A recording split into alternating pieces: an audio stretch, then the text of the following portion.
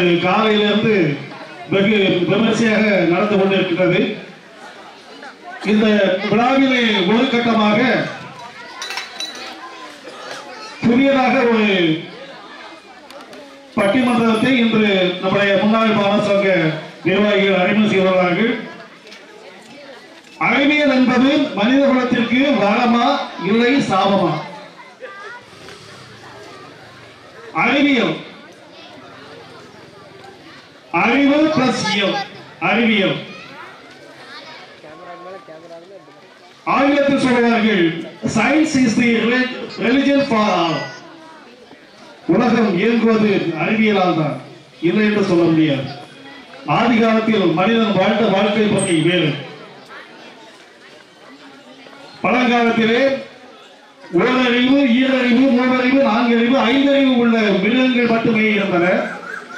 குரங்கிலிருந்து பிறந்த மனிதன் தங்களுடைய வாழ்க்கை முறையை நம்மை போன்ற வீடுகளில் வசிக்கவில்லை. மர பொண்டுகளிலும் குகைகளில் தான் வசித்தார்கள். காட்டில் கிடைத்த கனிகளை இறைச்சியை மிருகங்களை அழித்துதான் சாப்பிட்டார். ஏதோ ஒரு மனிதனுக்கு திடீரென்று ஒரு இரண்டு கற்களை வாய்வு செய்கின்ற பொழுது தீப்பொழி பறந்தது. தீப்பொறி பிறந்த உடனே அவனுக்கு ஒரு ஒரு ஞான உணவு ஞான உதயம் ஆஹா இது எவ்வளவு செய்யலாம் சொல்லி பக்கத்துல சலுகை எடுத்து போட்டா தீப்பிடிச்சி எரிஞ்சது தீப்பிடிச்சி எரிஞ்சதுல அவன் வந்து அழித்து வைத்திருந்த அந்த மிருகத்தினுடைய சதைகளை கறியை எடுத்து சுட்டு சாப்பிட்டு பார்த்தான் டேஸ்டா இருந்தது. அப்போ நெருப்பு உண்டாக்கி அதிலே மனிதனுடைய உணவை உற்பத்தி செய்யக்கூடிய ஒரு அறிவை படைத்தார். இந்த அறிவியல் காலப்போக்கில் வளர்ந்து ஒரு மிருகமாக இருந்த மனிதனை சிவிலைஸ்டு பர்சன் நாகரிகமான ஒரு மனிதராக மாற்றியது அறிவியல் தான். இப்பொழுது இந்த அறிவியல் பன்முகத்தன்மை கொண்டதாக இருக்கின்றது. ஆன்மீக அறிவியல் தத்துவ அறிவியல் பொருளாதார அறிவியல் அரசியல் அறிவியல் சமூக அறிவியல் என்று பல்வேறு பன்முகங்களை கொண்டு விளங்குகின்ற இந்த அறிவியல். இந்த அனைத்துமே மனித குலத்தை ஒவ்வொரு திசையில் படிக்க பயணிக்க வைத்து இலக்கு கொண்டிருக்கிறது. ஆங்கிலத்தில் ஒரு சொல்வார்கள் மேன் இஸ் சோசியல் பீயிங் மனிதன் ஒரு சமூக பிராணி. சமுதாயத்தில் அவன் எவ்வளவு எப்படி வாழ்கின்றான் என்பதுதான் அவருடைய எடை போடப்படுகிறது. ஏன் எதற்கு என்று கேள்வி கேட்ட பின்புதான் அறிவியல் யாருமே வருகின்றது. ஒரு ஆப்பிள் பழம் மரத்திலிருந்து கீழே விழுகிறது. கீழே விழுந்த பிறகுதான் ஓஹோ புவியீர்ப்பு விசை இருக்கிறதோ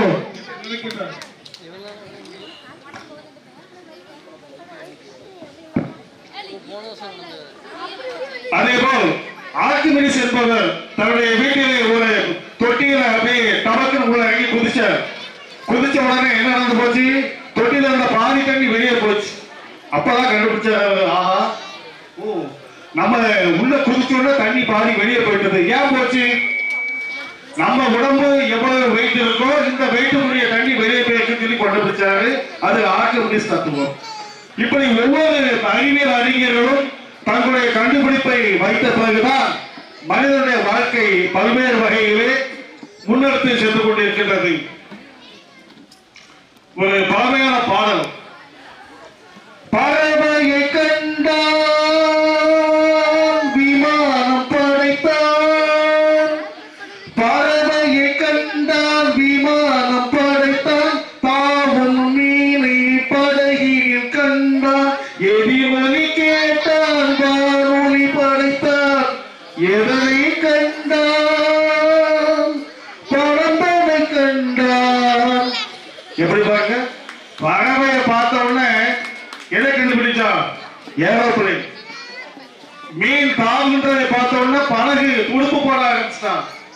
எதிரிலே கேட்டவுடனே உடனே கண்டுபிடித்தார்கள். இப்படி பல்வேறு வகையில் மனிதன் தன்னுடைய வாழ்க்கையிலே நடக்கின்ற ஒவ்வொரு நிகழ்வுகளை வைத்து புதிய புதிய கண்டுபிடிப்புகளை செய்து கொண்டிருக்கின்றார்கள். உலக நாடுகளில் வந்து எத்தனை அறிஞர்கள் எதாவது கண்டுபிடிச்சாலுமே நமக்கு இந்த அறிவியல் வ- வந்த வளர்ச்சியில முன் முதல் முதல்ல இருப்பது மின்சாரம் தான். மின்சாரம் இல்லைன்னு சொன்னா எல்லாமே சொல்ல இந்த மின்சாரத்துடைய பயன்பாடு பாருங்க வீட்டுல light fridge mixie grinder washing machine என்ன இது நம்ம வீட்டுல அடுத்து பாருங்க பொழுதுபோக்குக்கு வானொலி TV tape record cassette CD pen drive எல்லாம் அலுவலகத்துக்கு போனா கம்ப்யூட்டர் இருக்கு. புதிய தொழில் தொடர்களுக்கு தொழிற்சாலைகள் இருக்கு. முன்னால பாருங்க தகவல் தொழில்நுட்பம் பாருங்க. முன்னால தபால் தந்தி எல்லாம் இருந்தது இப்போ தந்தி இருக்கா? இல்லை. இப்ப எல்லாமே மெயில் இமெயில் போட்டு விடு நான் பாத்துக்கிறேன் வாட்ஸ்அப்ல போட்டு விடு நான் பாத்துக்கிறேன் செல்போன்ல பேசி பாத்துக்கிட்டு போக்குவரத்தை பாரு. முதல்ல நடந்து போறாங்க. அதுல குதிரையில போனா வண்டியில போனா ட்ரெயின்ல போனா இப்ப பாருங்க பஸ்ல பிளெயின்ல போறா மனிதன். அப்போ மனிதனுடைய வளர்ச்சி அதிகமாக இருக்கின்றது. கல்வியை பாருங்க. ஒரு காலத்துல அந்த என்ன ஓலைச்சுவடியில எழுதுறாங்க இப்ப பாருங்க ஸ்மார்ட் கிளாஸ் அடுத்து மருத்துவத்தை பாருங்க. முதல்ல ஒரு ஆபரேஷன் பண்ணணும்னு ரொம்ப யோசிப்பாங்க. நாற்பத்தஞ்சு வருஷம் முந்தி எங்க அப்பாவுக்கு கழுத்துல ஒரு பொண்ணு சுகர் பேஷண்ட் அப்பவே ஒரு ஆபரேஷன் பண்ண முடியாம இறந்து பாருங்க இப்ப அப்படி இல்லை. மருத்துவத்தில் எவ்வளவு பெரிய முன்னேற்றம் பாருங்க. லேப்ராஸ்கோபிக் ஆபரேஷன் வீடியோ கான்பரன்ஸ்ல இங்க இருந்து அங்க டைரக்ட் கொடுக்க. இப்ப இந்த அளவுக்கு மருத்துவ முன்னேற்றம். இப்படி நிறைய விஷயங்கள். அது மாதிரி விவசாயம் பாருங்க. முன்னால ஏத்த வச்சாங்க இப்ப பம்பு செட்டு பூச்சி மருந்து கண்டுபிடிச்சாங்க உரங்களை கண்டுபிடிச்சாங்க விவசாயத்துல புரட்சி. இப்படி பல்வேறு வகையில புரட்சி செய்கிற இந்த அறிவியல் வளர்ச்சி. வரமா சாபமா? எங்க வீட்டு பக்கத்து வீட்டுல ஒரு அம்மா இருக்காங்க. அவளுக்கு ஒரு பிள்ளை. அந்த அம்மா டீச்சர் வரவளுக்கு அவளை பக்கத்து ஊர்ல கட்டி கொடுத்துட்டு அவன் டீச்சர் தான். இந்த அம்மா அதனால நாள் என் மரபுற மாதிரி ஒரு தங்கமான கூட எவனும் கிடையாது எனக்கு கிடைச்ச மரம் பெரிய தரம் என் மரபவன் ஏமான்னு கேட்டேன். என்ன கேட்டாலும் என் மகன் அமைதியா ஊமையா இருப்பாரு. ஏன்னு கேட்டா இந்த அம்மா டீச்சர் பத்தியா மறுபுறம் ஏழை பேசாத ஏழை பேசாத ஏழை பேசாத இருக்கவா?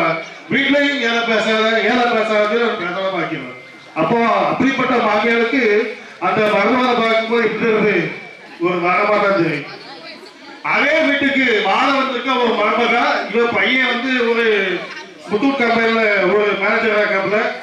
இந்த அம்மா ஒரு பாலிடெக்னிக்ல ஒரு லெக்சரா இருக்காங்க இந்த அம்மாவை பாத்தீங்கன்னா இவங்க கொஞ்சம் வாய் கொடுக்காரா வாய் கொடுக்காரா நினைப்பாங்க. இந்த அம்மா என்ன கதையை கட்டியாரான்னு எங்க இருந்து பிரிச்சு கொண்டானோ இது லவ் மேரேஜ் அதோட விஷயம். எங்க இருந்து பிரிச்சு கொண்டானு தெரியல. தேவையில்ல என்ன பாடுபடுத்துதுங்க இது நம்ம மௌனுக்கு அடுத்து பெரிய சாபக்கேடு சொல்றார். அப்போ ஒரே மாமியார் தன்னுடைய மருமகளை வரம் என்றும் தனக்கு வாய்த்த மருமகளை சாதம் என்று சொல்லுகின்றார். அதே போலதான் இங்கே அறிவியல் நம்முடைய மனித குலத்திற்கு வரம் என்று சொல்வதற்கு மூன்று பேர் வந்திருக்காங்க. இல்ல இல்ல அதெல்லாம் கிடையாது. அறிவியலால என்னென்ன கெடுதல் தெரியுமா? அது பெரிய சாபம். அப்படின்னு சொல்றதுக்கு மூன்று வந்திருக்காங்க. இவங்க என்ன சொல்றாங்க பார்த்துக்கிட்டு அதுக்கு பிறகு நீங்களும் நானும் தான் தீர்ப்பு எழுதணும்? ஏன்னா உங்கள்ட்ட நிறைய கேள்வி கேட்பேன். சும்மா பேசுறத வச்சும் நானும் என்ன தெரிஞ்சு சொல்லிட்டு போனா நல்லா இருக்காது. அதனால நீங்க கடைசி கூட இருக்கணும். இருந்த இந்த கேள்விகளுக்கு பதில் சொல்லிட்டு தீர்ப்பை எழுதித்தான் வீட்டுக்கு போகணும். செய்யலாமா? ஆ அதனால அந்த அடிப்படையில முதல்ல இந்த அறிவியல் என்பது மனித குலத்திற்கு வரமே என்று சொல்லக்கூடிய அளவுக்கு முதல்ல பேச வராது டெல்லியில இருந்து வந்திருக்க நம்ம ஆளு சிவகுமார். இவர் வந்து என்னுடைய பேட்ச் ஏன் என்னுடைய பேட்ச் சொன்னப்பா தொண்ணூறு தொண்ணூத்தி மூணு நான் இங்க இருந்தேன் அதனால என்னுடைய பேட்ச் எனவே தம்பி சிவகுமார் அவர்களை அழைக்கின்றேன். இவர் டெல்லியில கோட்டா கோட்டா சைக்கிள் கம்பெனியில் வரவாங்க வாங்கமே என்று பேசுவதற்கு வாங்க.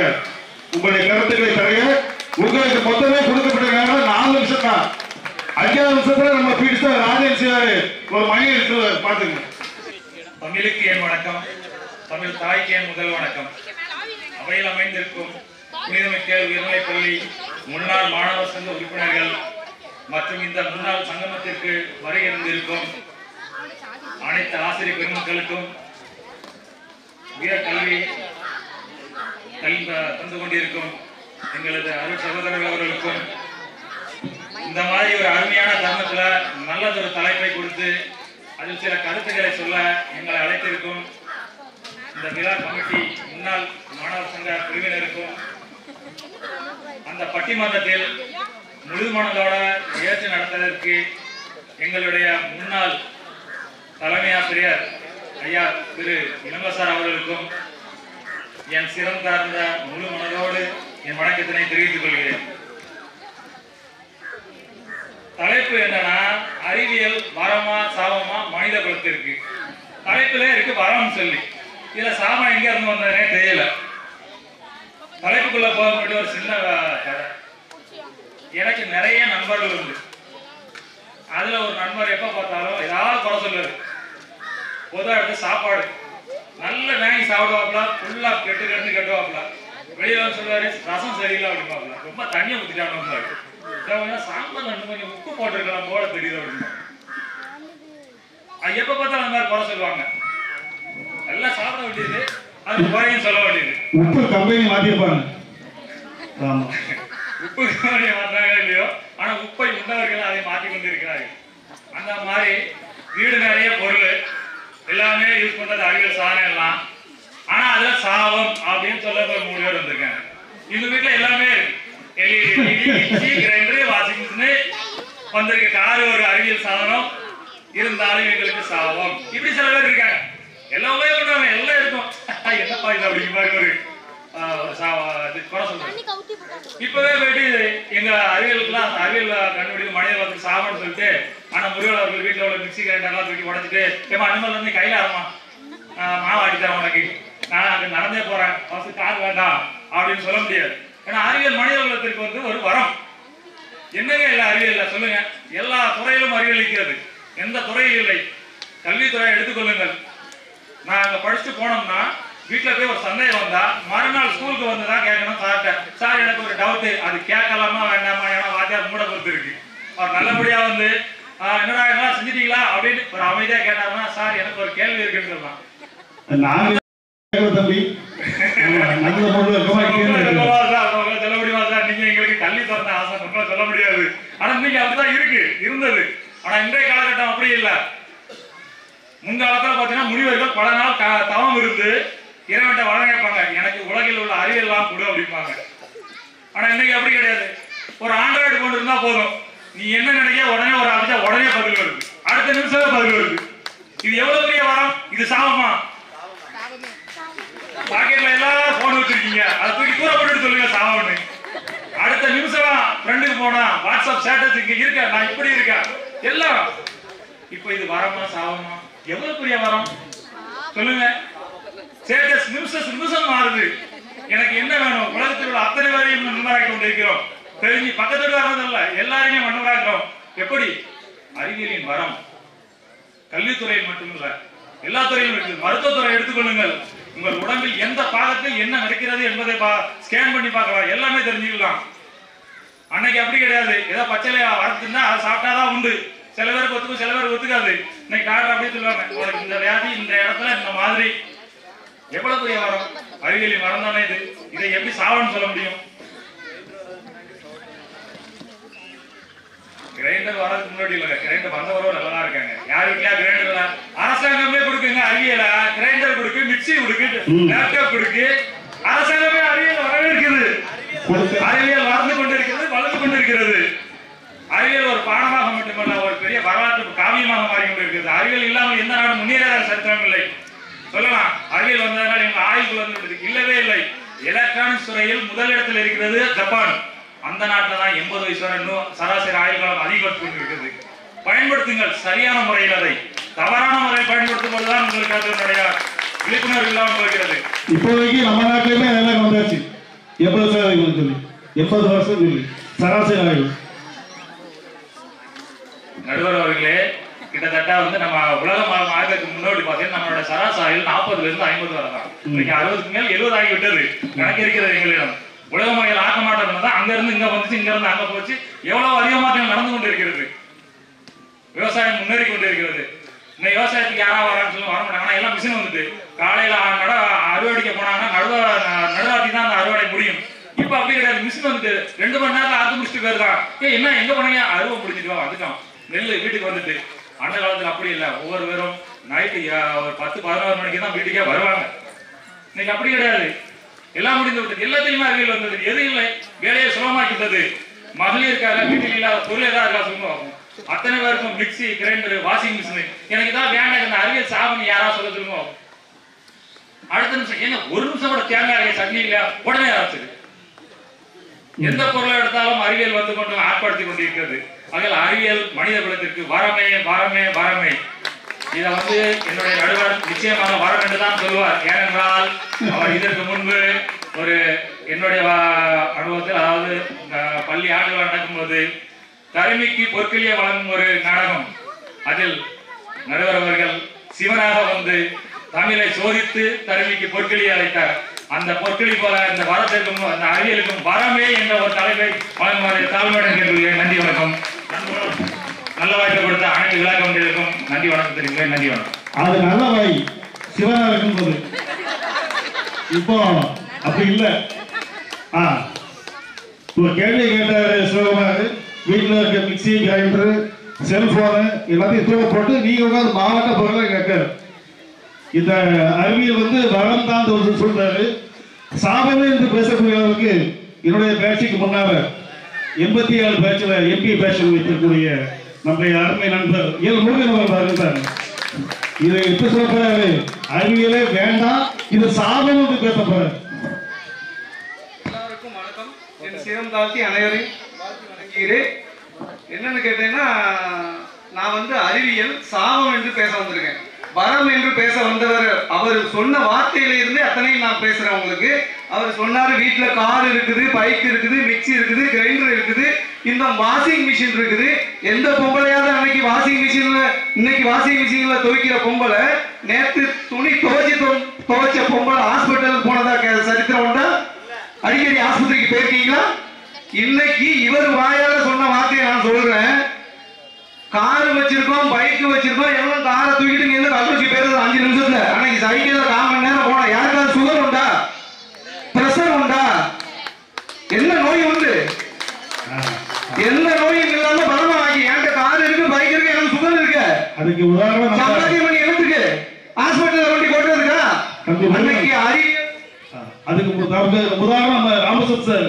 சைக்கிள்லேயே போயிட்டு இருக்காரு. காரணம் என்ன அப்படின்னா அறிவியல் மனித குலத்துக்கு வேணும்னா அதை சரியான பயன்படுத்தணும். நம்ம எந்த பொம்பளையும் இன்னைக்கு எடுத்த உடனே என்ன அம்மியில அரைக்க மாட்டேன் அப்படிங்கிற அன்னைக்கு அம்மியில அரைச்ச குழம்பு மட்டன் சிக்கன் நாக்குக்கு ருசியா இருந்ததுமா இன்னைக்கு அந்த ருசி இல்லையே. ஆச்சி மசாலா போட்டாதான் ருசி இருக்கு. அது யாருக்கு வரும்? சாபமா இல்லையா? ஒரு பாட்டுல நான் சொல்றேன் மண் அதுக்குள்ள பாட்டை வந்தாச்சு நான் எதுவும் எழுதி வச்சு பேசும்போதே வரும் பாட்டு. மனுஷன மனுஷன் சாப்பிடுறான்டா தம்பி பயலே. அது மாறுவதற்கும் தீருவதற்கும் என்னோட கவலை. அதே கவலை தான் நம்ம நடுவர் ஐயாவுக்கும் இருக்கும்னு நினைக்கிறேன். ஏன் அப்படின்னா நம்ம பண்ற விவசாயம். அன்னைக்கு விவசாயத்துல அரிசியை குத்தி சாப்பிட்டோம். நோய் இல்லை. இன்னைக்கு இயற்கை விவசாயம் இல்லை. ரசாயன விவசாயம்.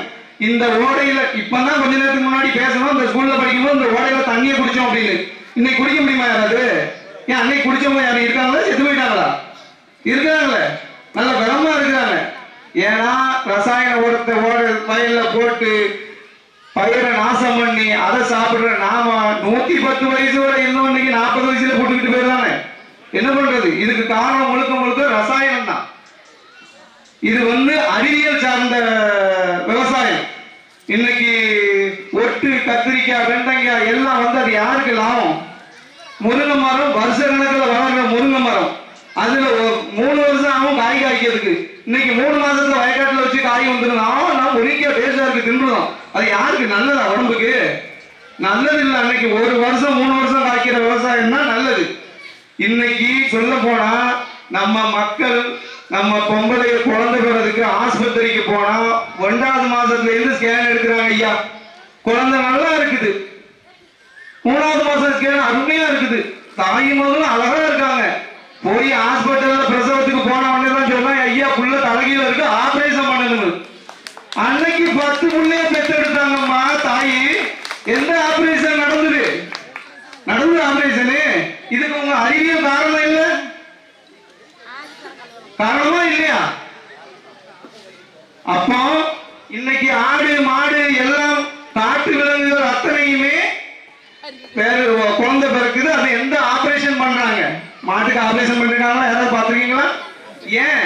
அது இன்னும் இயற்கையை விட்டு வெளியே போல நாம வந்து மனித பத்தி தான் பேசணும்.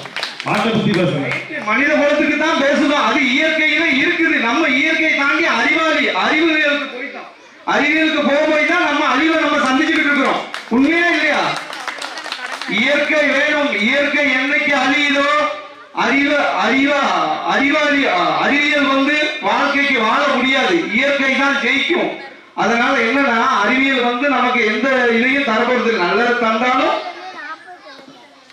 பத்துக்கு பிப்டி பர்சன்ட் நல்லதா இருந்தாலும் கெட்டதுக்கு. ஆனா என்னன்னா நம்ம மக்கள் பாருங்க செல்போனை இருக்கீங்க அவன் என்ன பேசுறாங்க நீங்க ஏதாவது யூஸ் பார்த்திருக்கீங்களா? அதை முதல்ல பாருங்க. நம்ம குழந்தை நல்ல முறையில் வளரணும் படிக்கணும் அப்படின்னா செல்போனை ஆண்ட்ராய்டு போனை வாங்கி கொடுத்தாங்க ஆண்ட்ராய்டு போன அத்தனை இருக்குது. பத்தாம் கிளாஸ் படிச்சுட்டு பெற்ற புள்ள கேட்கறோம் அப்பாட்ட எப்பா நான் பாஸ் ஆயிட்டேன். எனக்கு ஒரு பைக் வேணும். என்ன பைக்குப்பா வேணும்? எனக்கு ஹெவி வண்டி தான் வேணும். வாங்கி கொடுத்துருந்தாரு யாரு Bajaj Pulsar one twenty five engine அவன் பைக்ல மூணு பேர் இல்ல நாலு பேர் வச்சுக்கிட்டு போறான்.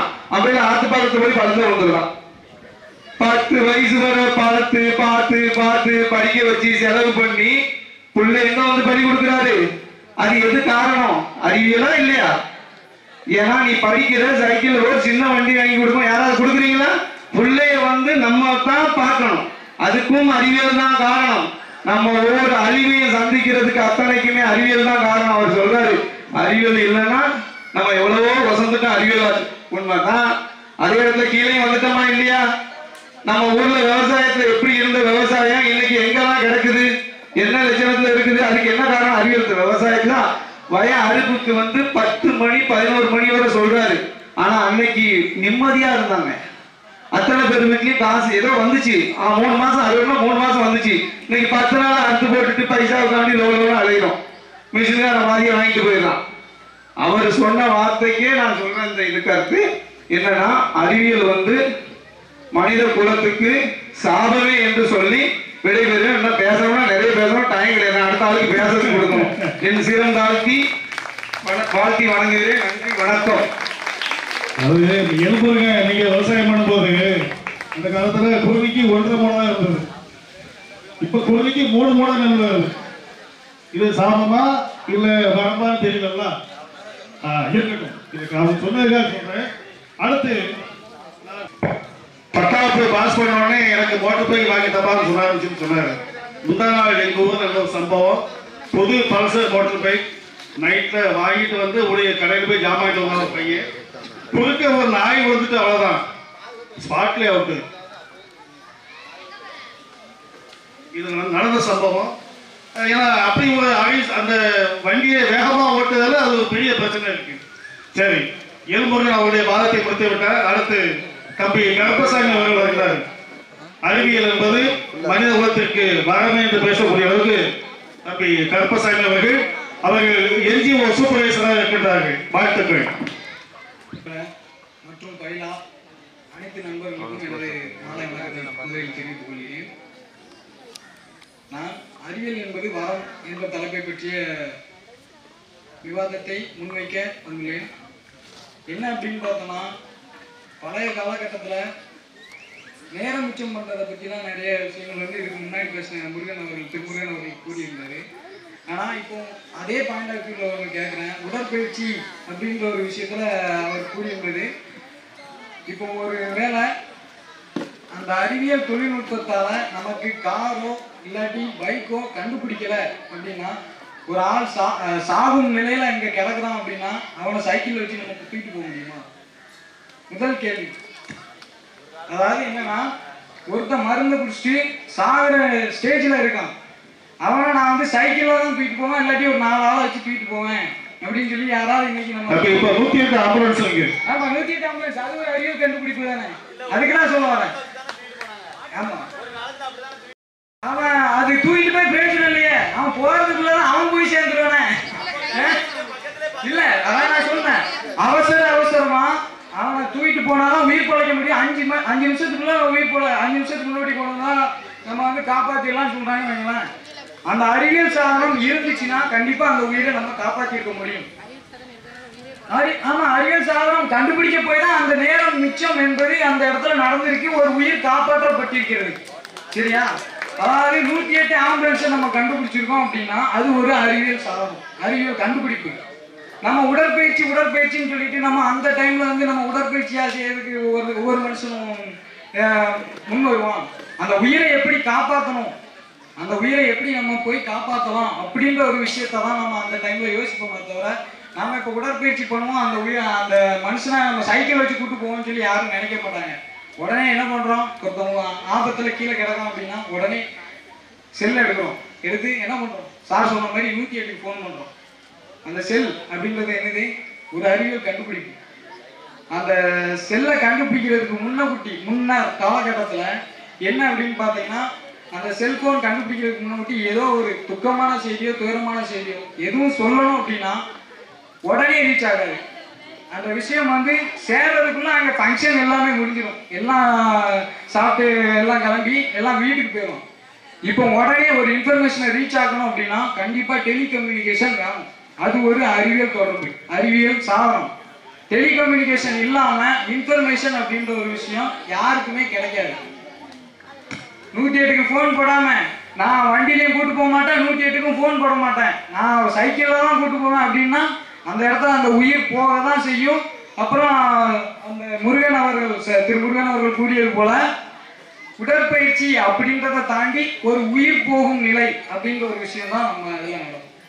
அப்புறம் ஆரியா மனிதன். என்ன பண்ணோம் அப்படின்னு பார்த்தீங்கன்னா நிறைய அதாவது நம்ம இப்போ நவீன நாகரிகம் நம்ம அறிவியல் கண்டுபிடிப்பால தான் நாம இப்போ என்ன பண்ணியிருக்கோம்னா ஒரு முழு உருவ மனிதனாக இங்கே உட்கார்ந்துட்டு இருக்கோம்.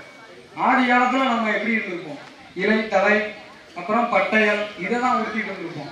இப்போ அந்த சயின்ஸ் எனக்கு வேண்டாம். நான் இலை தலையே உடுத்துறேன். எனக்கு அந்த பட்டையை போதும்னு சொல்லி யாராவது இங்க உட்கார்ந்துருக்கோமா? பதில் சொல்லுங்க. ம்? நம்ம அந்த அறிவியலை ஏற்றுக்கிறோம் அந்த டைம்ல எனக்கு நான் வந்து உடை இல்லாம நான் எந்த இடத்துக்கும் போக மாட்டேன். எனக்கு கண்டிப்பா உடை என்பது வேணும். ஆள் பாதி ஆடை பாதி. அப்படின்ற மாதிரி ஆடை அப்படின்ற ஒரு விஷயம் அறிவியல் பூர்வமா கண்டுபிடிக்கப்பட்ட ஒன்று. அதை நாம் பயன்படுத்தி கொண்டிருக்கிறோம். இதை யாரும் மறுக்க முடியாது. அப்படிதானே? உண்மைதானே? அப்புறம் அறிவியல் கண்டுபிடிப்புல பாத்தீங்கன்னா நாம டெய்லி நுகர்பொருள் அதாவது எல்லா பொருளுமே வாங்குறோம். பட் வாங்கும் போ பட்சத்துல அறிவியல் கண்டுபிடிப்பு மின்சாதன பொருட்கள் அதிகமா இருக்க போய் தான் நமது நாடு இந்திய பொருளாதாரத்தில் முதல் முதலிடத்தில் இருக்கிறது. அதாவது பிசினஸ் அப்படின்ற பட்சத்துல நான் வந்து ஒர்க்கரை வச்சு தான் நான் பிசினஸ் பண்ணுவேன் அப்படின்னு சொல்லி எந்த கம்பெனியுமே முன் வர மாட்டாங்க. ஒரு இயந்திரத்தை ஆப்ரேட் பண்றதுக்கு வேணா நான் வந்து மேன் பவரை யூஸ் பண்ணுவேனே தவிர அந்த இயந்திரத்துக்கு பதிலாக நான் மேன் பவரை யூஸ் பண்ண பண்ணுவேன் அப்படின்னு எந்த கம்பெனியும் சொல்லாது. காரணம் என்ன அப்படின்னு பார்த்தீங்கன்னா ஏகப்பட்ட உற்பத்தி ஆக்கணும். உற்பத்தி பெருக்கத்தால ஒரு தனி மனித வருமானம் கூடுது. அந்த தனி மனித வருமானம் கூடுச்சுன்னா இந்திய பொருளாதாரமும் ஆட்டோமேட்டிக்காக கூடும். ஸோ இந்த இடத்துலையும் இந்த அறிவியல் கண்டுபிடிப்புகள் பயன்படுது. அப்புறம் இன்னொரு விஷயம் என்னன்னு பார்த்தீங்கன்னா ஆடை அப்படின்ற ஒரு விஷயத்தை தாண்டி உணவு அப்புறம் இப்போ எஜுகேஷன்லாம் பார்த்தீங்கன்னா ஸ்மார்ட் போர்டு அப்புறம் எல்லா விஷயமே இது பண்ணுறோம் அந்த காலகட்டத்தில் குருகுல கல்வி அப்படின்ற ஒரு முறையில் நம்ம மாணவர்கள் எல்லா கல்வி முறையும் பயின்றுட்டு இருந்தாங்க.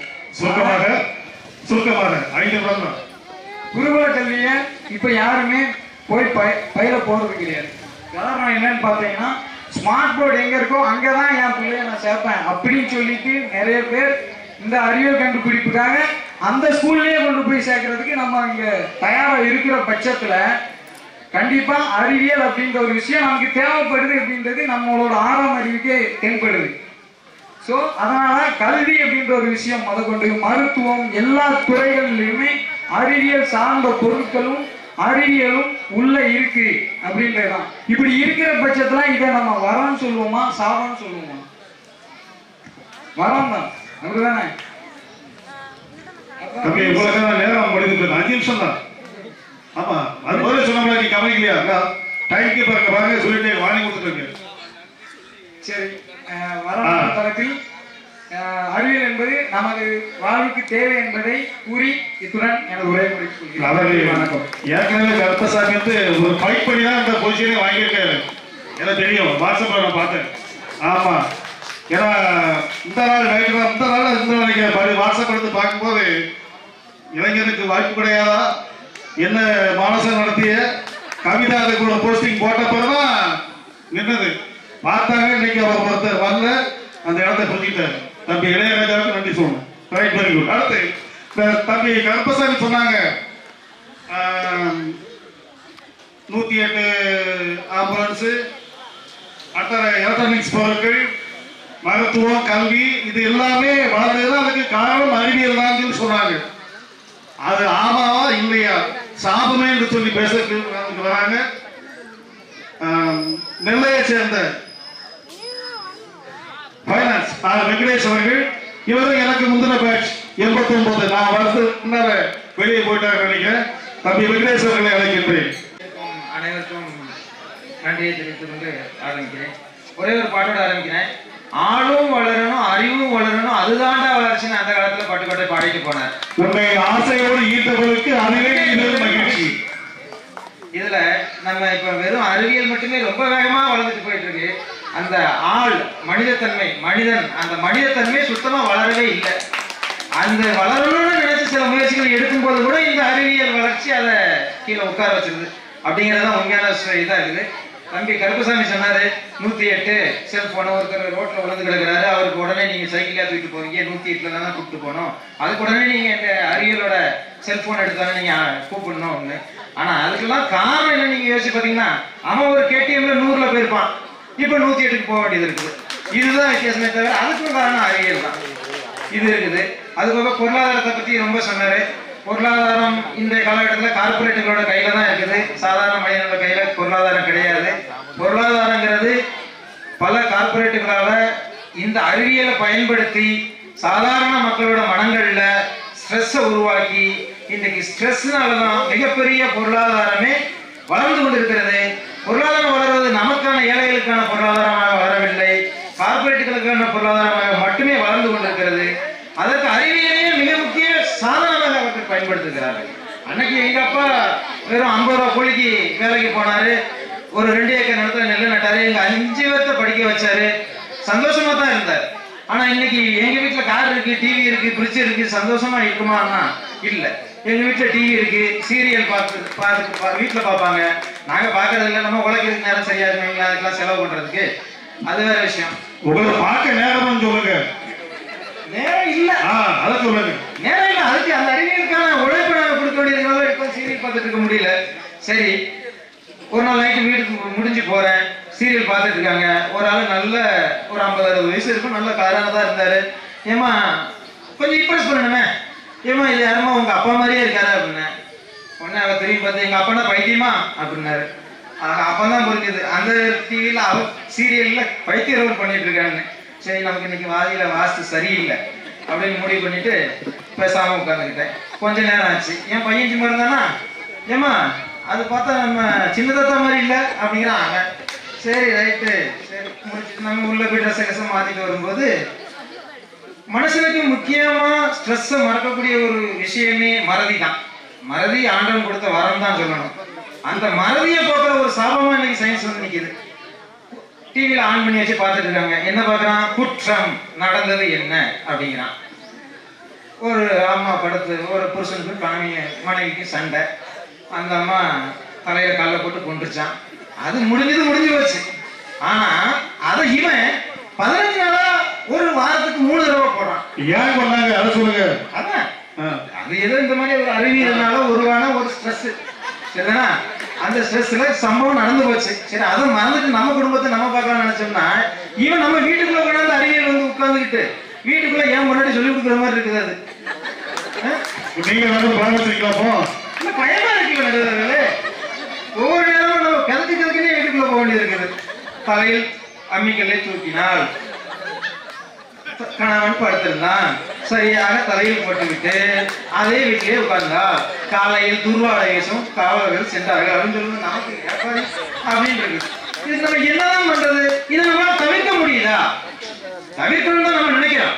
ஆனா தவிர்க்க முடியாதுன்னா முடியல. அந்த இடத்துல தான் இந்த அறிவியல் நமக்கு சாபமாக மாறுகிறது. இதைத்தான் நான் சொல்லுவேன் இப்போ ஒவ்வொரு விஷயத்துல இது மாதிரி நிறைய சினி இதை பத்தி சொல்லிட்டு போகலாம். நிறைய நகைச்சுவையுமே பேசலாம். ஆனால் எல்லா விஷயத்திலும் கெடுதல்ங்கிறது ஒரு இரு புறமும் கூர்மையான கத்தி மாதிரியானது அறிவியல்.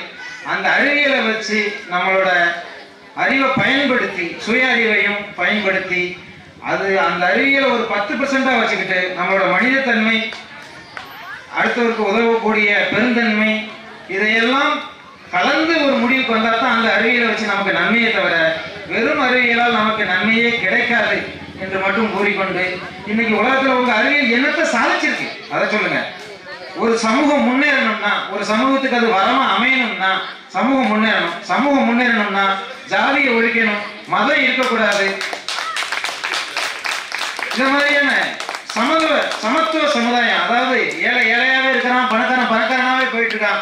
இந்த சமுதாய வேறுபாடு சமுதாய நிலைத்தன்மை இல்லாத நிலைமையை இம்பேலன்ஸ் ஆஃப் சொசைட்டி அப்படிம்பாங்க. அந்த இம்பேலன்ஸ் ஆஃப் சொசைட்டி குறைச்சிருக்குதா அவங்க அறிவியல்? இத்தனை வருஷம் அறிவியல் வளர்ச்சியில. இது எதுவுமே இல்லாம நீங்க அறிவியலுக்கு வரணும் நீங்க சொன்னீங்கன்னா எப்படி அதை வரணும் ஏற்றுக்க முடியும்? காந்தி சொன்ன அகிம்சையை வளர்த்துக்குதா எதுவுமே வளரல. அப்ப எதுவுமே இல்லாம இல்லாம இல்லாம இல்லாம தான். விவசாயிக்கு தண்ணி இல்லை குடிக்க ஏழைகளுக்கு வசதி இல்லை. இது மாதிரி பல விஷயங்கள் இருக்கு. ஆனா அதெல்லாம் சொல்லணும்னா ரொம்ப நேரம் ஆகும் மொத்தத்துல இது ஒரு சாபம் அப்படின்னு சொல்லி முடிச்சுக்கிறேன். நன்றி வணக்கம். ஆ. கலாச்சார சீர்வழிகள் சீர்கழிகள் டிவியை பார்த்தாச்சுனாலே நடந்தது என்ன? என்ன நடந்தது சொல்லு. வீட்டில் அவருக்கு பயம் நினைக்கிறேன். ஆ. ஒரு டென்ஷன்ல அப்படியே இருக்காரு. என்ன சொல்றாங்க ஆமா. அப்படியே இருந்து ஒரு பயத்துல இருக்காங்க ஏன்னா அவர் பயங்கரமா உழைப்பாளி வீட்டுல உட்காந்து இப்போ டிவி பார்க்கறதுக்கு நேரம் கிடையாது. ஒரு கலாச்சார சீரழிவு சமுதாயத்துக்கு எந்த விதத்தாலும் எந்த விதத்திலும் ஒரு முன்னேற்றம் இல்லை. இந்த அறிவியலாளர் சொல்லி ஒரு குற்றச்சாட்டை வச்சிருக்காரு அந்த குற்றச்சாட்டை மறுப்பதற்கு ரெண்டாயிரத்தி ஆறு பேட்சில் உள்ள நெல்லை இந்துசிட் பேங்க்ல இருக்கக்கூடிய தம்பி சட்டநாதன் அவர்கள்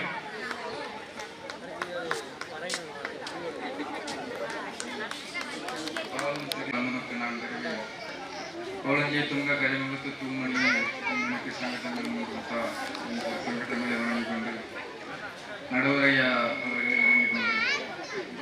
இரவு முழுவதும் ஃபேனு மிக்சி ஏசி கிரைண்டரு இது எல்லாத்தையும் நைட்டு யூஸ் பண்ணிட்டு காலையில் வந்துட்டு அறிவியல் வந்து சாபம் அப்படின்னு பேச வந்திருக்க எதிரணியினரே அதில் இருக்கக்கூடிய சாபத்தையும் வரமா மாற்றி வாழக்கூடிய எங்கள் அணியினரே. மற்றும் பார்வையாளரை உங்கள் அனைவருக்கும் முதற்க நான் வணக்கத்தை தெரிவித்துக் கொள்கிறேன். எனக்கு முன்னாடி ஆப்போசிட்ல எல்லாருமே பேசியிருந்தாங்க. பேசுறது எல்லாமே பார்த்தீங்கன்னா ஃபர்ஸ்ட் தலைப்பு அவங்க சரியா படிக்கணும்னு நினைக்கிறேன். இன்னைய காலகட்டத்தில் ஆயுர்வேத வளர்ச்சி வரமா சாப்பிடணும் எல்லாரும் அந்த காலத்துல இயற்கை உணவு சாப்பிட்டோம். அந்த காலத்துல பிரசவலை எப்படி இருந்தது? அந்த காலத்துல இன்னைக்கு காலகட்டத்தில் என்ன இருக்கு? அதுதான் பார்க்கணும் இன்னைக்கு என்ன நடந்திருக்கோ நம்ம அதை தான் பேசணுமே தவிர அந்த காலத்துல அப்படி பண்ணலாம் அந்த காலத்துல எந்த மாதிரி நேரம் பண்ண முடியுமா? அந்த காலத்துல அம்மியில அரைச்சாங்க அஹ் ஆட்டோவில் இது பண்ணாங்க. இந்த காலத்துல அதான் பண்றாங்க யார் பண்ணுதுப்பா யாரு கல்யாணம் ஒருத்தரும் கிடையாது. அறிவியல் சாதனம் யூஸ் பண்றவங்களாவே நீங்க வளர்ந்துறீங்க யாருக்கு என்ன கிடைக்கும் இது சொல்றதுக்கு ஒன்றும் இல்லை. சில- சில விஷயங்கள் நான் சொல்றேன். அறிவியல் உங்கள் சமுதாயத்தை எந்த அளவுக்கு மாத்திருக்கு நம்ம இந்தியாவில் பொருளாதாரத்தில் உயர்ந்து ஒரு கொஸ்டின் கேட்டாங்க. அறிவியலை வந்து சாபம் அப்படின்னு நினைச்சிருந்தா கூகுள் சுந்தர் பிச்சை ஆயிரத்தி எட்நூறு கோடி ரூபாய் சம்பளத்துக்கு சேர்ந்திருக்க முடியுமா? எனக்கு பின்னாடி வர முத்து செல்வனா இதுக்கு கண்டிப்பா பதில் சொல்லுவார். கண்டிப்பா சொல்லுவார். ரெண்டாவது விஷயம் ஆந்திர மாநிலத்தை சேர்ந்த சத்யநாதல்லா மைக்ரோசாஃப்ட்ல பில்கேட்ஸோட ரீப்ளேஸ்மெண்ட் அவர். ஸோ இந்த ரெண்டு விஷயத்துல இந்தியாவே தலை நிமிர்ந்து நிக்கிறது காரணம் இன்னைக்கு உண்டான அறிவியல். சரி இது இன்னைக்கு உள்ளது. கொஞ்சம் பழைய காலத்துல எடுத்து வைப்போம் ஜப்பான்ல ஹிரோசிமா நாகசாயின்னு ரெண்டு இடத்துல குண்டு போட்டாங்க. இதுக்கு மேல அந்த நாடே கிடையாதா அப்படின்னு ஒரு முடிவே கட்டிட்டாங்க. ஆனா அந்த நாட்டுல இருக்க மக்கள் அதை சாபமா எடுத்துக்காம வரமான்னு நினைச்சு சயின்டிபிக்கா திரும்ப திரும்ப யூஸ் பண்ணி யூஸ் பண்ணி இன்னைக்கு கப்பல் மேல விவசாயம் வந்துருக்காங்க. வேர்ல்டுல எக்கனாமிக்ல ஃபர்ஸ்ட் அவங்க இதை யாராவது மறக்க முடியுமா? இன்னொரு விஷயம் இது பண்றோம் ரித்விக் ஷாருக் கரூர் மாநிலத்தை சேர்ந்த ஒரு ஸ்டூடெண்ட் போன வருஷம் நடந்த சம்பவம். வேர்ல்டுலயே ரொம்ப கம்மியான வெயிட்டில் ஒரு சேட்டலைட்டை கண்டுபிடிச்சிருக்காரு. அந்த சேட்டலைட்டோட வெயிட் வெறும் அறுபத்தி நாலு கிராம் தான். அந்த சேட்டலைட்டோட பேர் கலாம் சேட்டலைட் இன்னைக்கு அவரு நாசாவுக்கு போய் வேலை பார்க்கிறாரு. இது அறிவியலோட வளர்ச்சி இல்லையா? இன்னொரு விஷயம் சொல்றேன். ஓஜர் ஒன் அப்படின்னு ஒரு சேட்டலைட் ஆயிரத்தி தொள்ளாயிரத்தி எழுபத்தி ஏழுல பூமியில இருந்து வானத்துக்கு வந்து அனுப்பிச்சிருக்கிறாங்க. ஆஹ் அனுப்பிச்சு கிட்டத்தட்ட அறுநூறு ஐம்பது வருஷம் தாண்டிக்கும் வச்சுக்கிட்டுங்களா அது இன்னைக்கும் பூமியோட தொடர்புல இருக்கு. இன்னைக்கு இந்த நிமிஷம் நான் சீட்ல இருந்து எண்ணிக்கிறதுக்கு முன்னாடி நான் கண்டுபிடிச்சேன். அது பூமியில இருந்து அது போயிருக்கக்கூடிய டிஸ்டன்ஸ் பாத்தீங்கன்னா ரெண்டு கோடியே பதினெட்டு லட்சத்தி பதினெட்டாயிரத்தி ஐம்பது ஐநூத்தி ஐம்பத்தெட்டு கிலோமீட்டர் டிஸ்டன்ஸ்ல போயிட்டு இருக்கு ஸோ இன்னைக்கும் அறிவியல் வளர்ச்சியில மைல்கல்ல அதை தான் முதல்ல வச்சிருக்காங்க. ரொம்ப சிம்பிளா ஒரு விஷயம் சொல்றேன். அறிவியலோட ஒரு சின்ன எக்ஸாம்பிள் இந்த மைக்கு இப்போ இந்த மைக்கில் இல்லாம நான் பேசுனா எத்தனை பேருக்கு கேட்கும்? இங்கே இங்க கடைசியில் இருக்க பாலகுமாரன் கூட கேட்காது. இப்போ நான் மைக்கில் பேசுறேன். சொடரமணன் ஜாமிகள் பஸ் ஸ்டாண்ட்ல உட்காந்து கூட பண்ணிட்டு கூட கேட்கும். இது வளர்ச்சி இல்லையா? மைக்கில் இல்லாமலே காந்தி நேரு காமராஜர் எல்லாம் ஒரு லட்சம் மக்கள் பத்தி பேசியிருக்காங்க.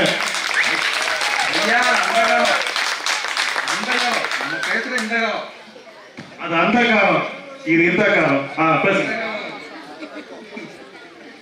நம்ம ஊர் ரேஷன் கடையில் ஒரு சின்ன மிஷின் ஷாப் ஒன்று கொண்டு வந்திருக்காங்க. முன்னாடி ரேஷன் கடையில் உட்காந்து கையில திருட்டி அஞ்சு கிலோ அரிசி பத்து கிலோ அரிசி எல்லாத்தையும் கையில திருந்தா இன்னைக்கு ஒரு மிஷின் மூலியமா கையில கொடுத்து ஒரு ஸ்மார்ட் கார்டை கையில கொடுத்து அதை ஸ்கேன் பண்ணி இருக்கிற அவ்வளவு கூட்டத்தையும் டக்கு டக்குன்னு சமாளிச்சு வெளியே அனுப்பிச்சிருக்காங்க இது அறிவியலோட வளர்ச்சி இல்லையா? மாதா பிதா குரு தெய்வம்.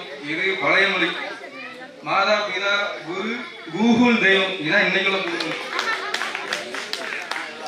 மதுரைக்கு வழி வாயில அப்படிங்கிறது பழைய மொழி. மதுரைக்கு வழி கூகுள் மேப்ல அப்படிங்கிறது தான் புது மொழி. வாழ்க. வீடியோ கான்பரன்ஸ் மூலயமா இங்க இருந்துகிட்டு எத்தனையோ ப்ரொஃபர்ஸ் வெளிநாட்டுல இருக்கக்கூடிய யூனிவர்சிட்டிக்கு பாடம் எடுத்துட்டு இருக்கிறாங்க. அதுலயே இந்தியா ஒரு ஸ்டெப் முன்னேறி போயிருச்சு. இது அறிவோட வளர்ச்சி இல்லையா?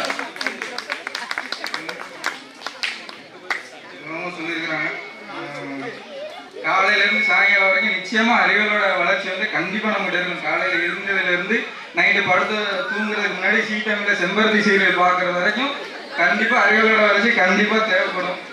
கடைசியா ஒரு விஷயத்த சொல்லி நான் நிறைவு பண்ணினேன் நான் இவ்வளவு பேசினதுக்கு அப்புறமும் எனக்கு முன்னாடி முன்செல்லாம் வருவாங்க.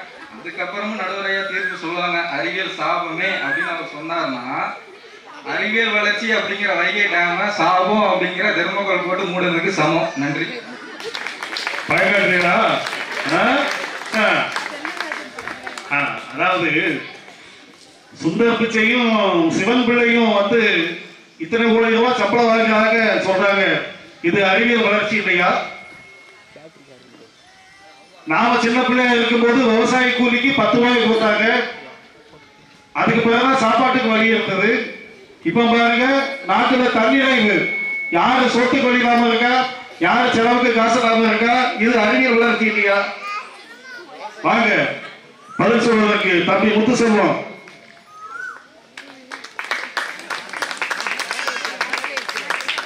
நண்பர்கள் அனைவருக்கும் வணக்கம். நடுவர் நண்பர் சாருக்கும் வணக்கம்.